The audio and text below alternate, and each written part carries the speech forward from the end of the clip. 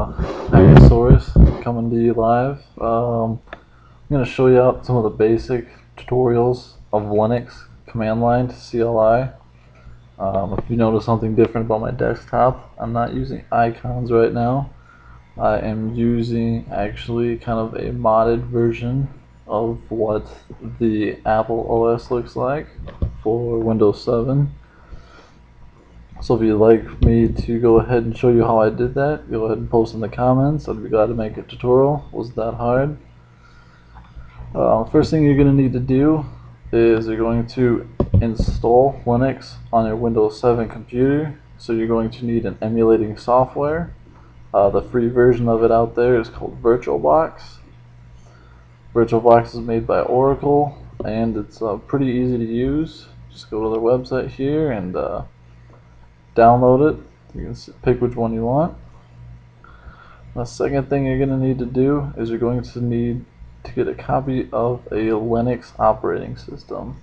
Now in this tutorial I will be using CentOS and uh, that's currently what my college is using right now. Another thing, these ads up at the top, uh, I'm not being redirected. I'm actually using a, uh, a proxy um, I'm not using my internet right now. I am borrowing um, an apartment building's internet for this video.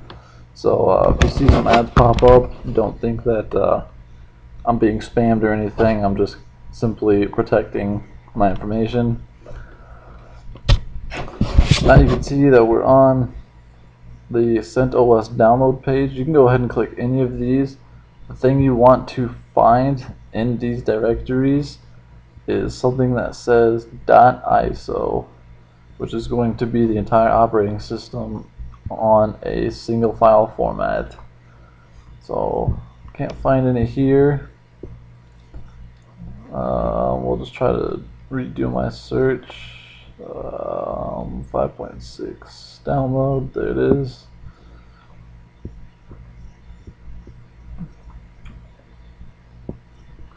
Let's see what it's going to look like.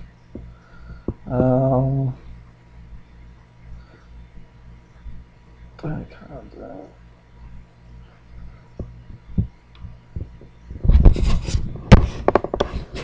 Yep, you can just find any of these. You can just click any of these. Uh, you can do the HTTP or FTP. Doesn't really matter as long as you get the ISO file. Now, I'm going to need to launch my virtualization software, which I'm using VMware, which is a paid product version, same thing as VirtualBox, only kind of looks a little bit different.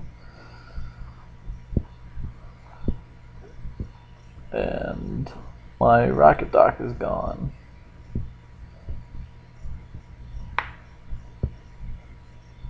There it is.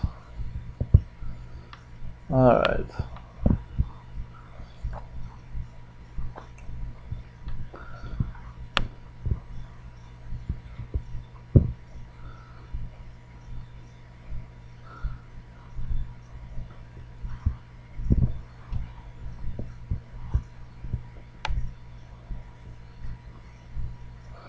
So what this does is it actually allows you to launch a different operating system inside of your own operating system.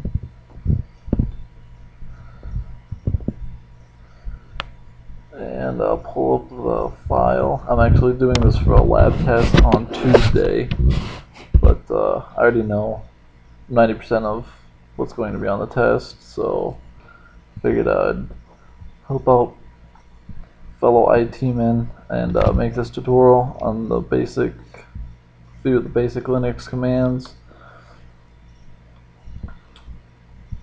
There's my lab test.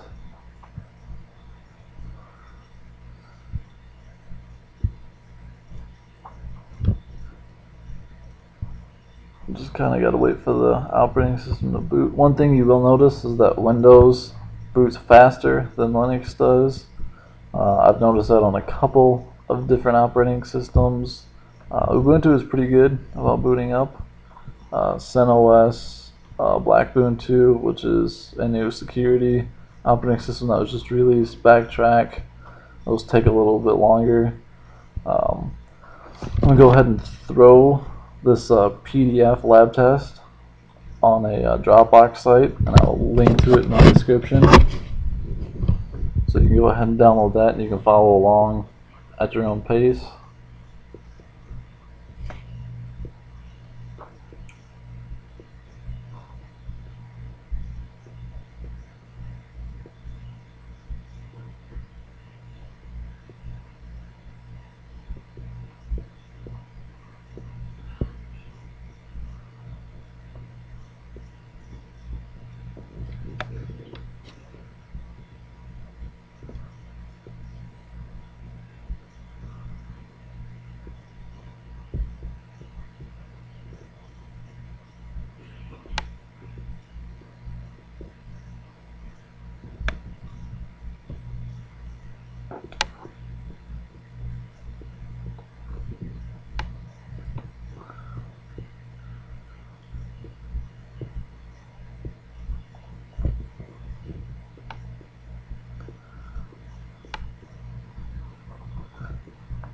Alright, we got that in my Dropbox.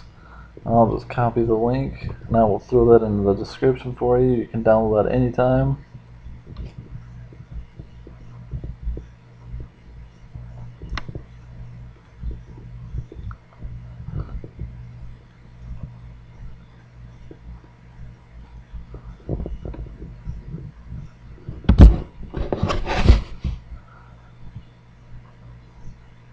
Now, mine is going to look a little bit different than yours. Yours will boot into the GUI or graphical user interface. Mine is booting straight into CLI because I actually had a corrupt install on my GUI. So I will be doing everything from this black screen right here. Um, a little bit harder. You really have to know what you're doing if you're going straight through CLI.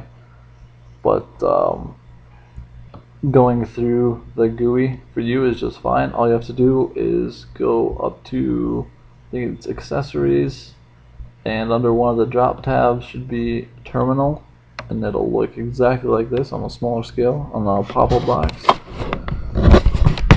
First thing we're going to need to do is make DIRA through C, more, and new under your home user test. Um, PWD first off shows us uh, right where we are in our directory listing. So you can see that I'm under home Nate. The make dir test failed because I have already made this directory. So I'm going to make dir dirb drc dir new but I know that I need to be under test Judging by the user's manual, I am going to go ahead and do a cd, change directory. And as you can see, instead of the tilde, you can see the test is there. Now I want to make dir. That, those are going to make those directories. Now the reason it didn't make above was because I had to take out the K. I didn't want to make those directories straight to my home folder. I wanted to make them under the directory of test.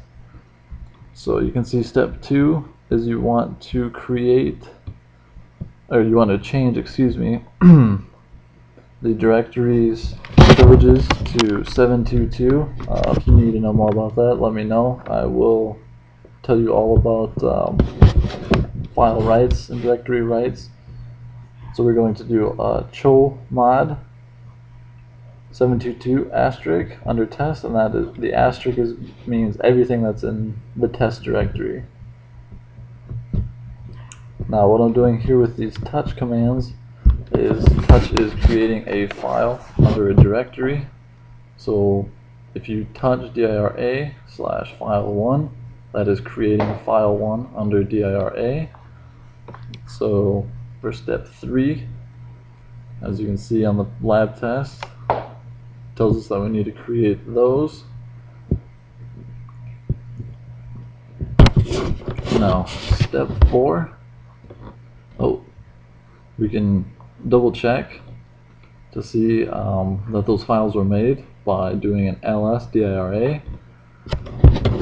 Can see that there's a file 1 listed there. Also, if you are doing this from the GUI, you can check this by double clicking on your home folder, test, and DIRA, and there should be a file 1 there.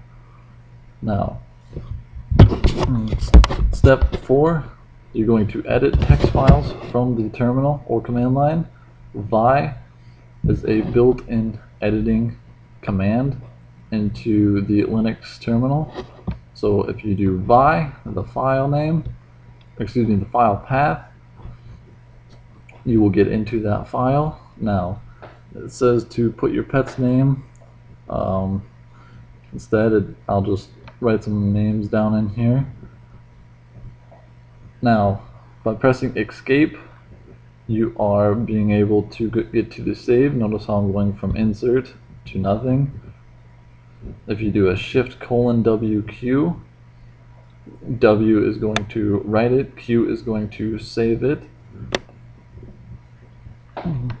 So again, back to that um, insert, being able to see the insert, not being being able to see the insert.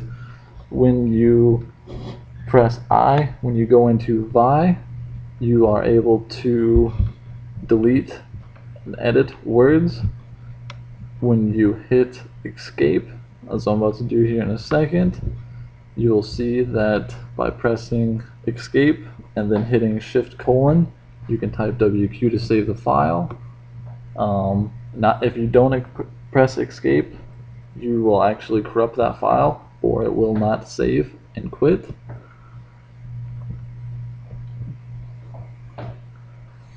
So for this second uh, file, we will just go hello YouTube, escape, shift colon, WQ is going to write and save that file.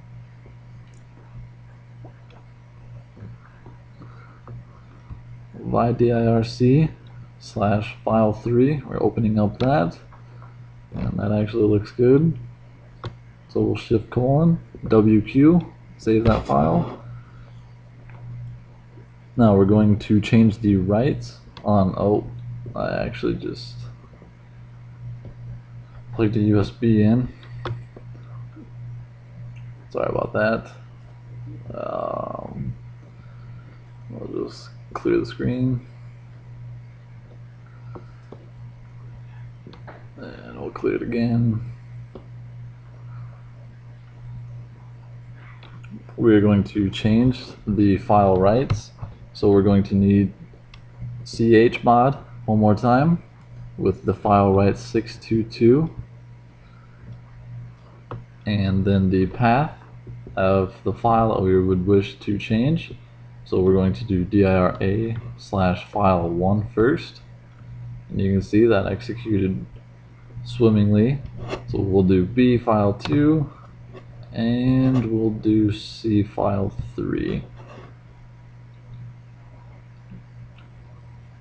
And again, this ch mod, all it's doing is changing the rights of that directory or file. So now it's asking us to copy those files to the dir more. So we're going to cp copy and we'll have to do a um, path to the files we're copying. So we'll need to execute this command three times, one for dir a file 1, dirb file 2, and dir c file 3.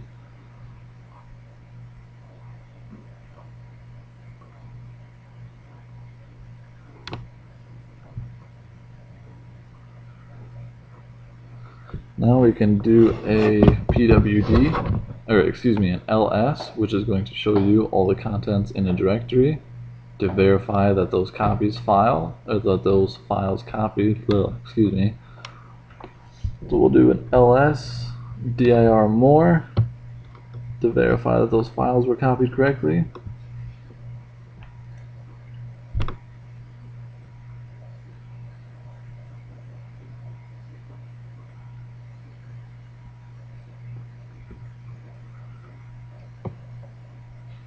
And you can see those files are there. Do a pwd to see where we are on the directory. We are under home nate test dir more. Now step 7 is going to move all of those files to the directory dir new. So we're going to do an mv asterisk, mv for move, asterisk for anything that's currently in the dir more directory. Then we're going to use the absolute path name. You can see that that executed perfectly. We're going to do an ls with that um, new path that we just copied or moved everything to. You can see everything there copied successfully.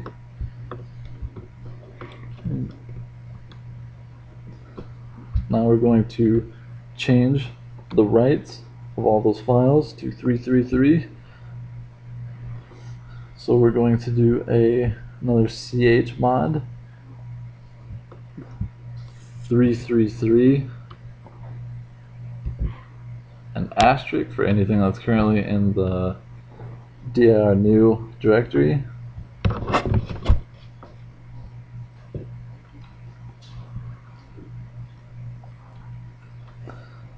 And that's all we're going to have time for. Actually, I'm going to go over the help switch that is currently in DOS for Windows has been kind of renamed to man for man pages or manual pages. So if you do man and then the command you need help with, and you hit enter, that will bring up the syntax help and or parameters you can use with that command. And to exit out of this, you can do a shift colon and Q. And that brings you back to your uh, prompt. So we'll do a man cd to find out what um, change directory does. You can see it gives you some switches there, kind of gives you some information on what each one does. We'll do a man ls and here's the proper syntax, some of the switches and parameters you can use with ls. And it looks like that's all we're going to have time for today. Thanks guys, hope this was a little bit of help to you and uh, hopefully we'll see you again.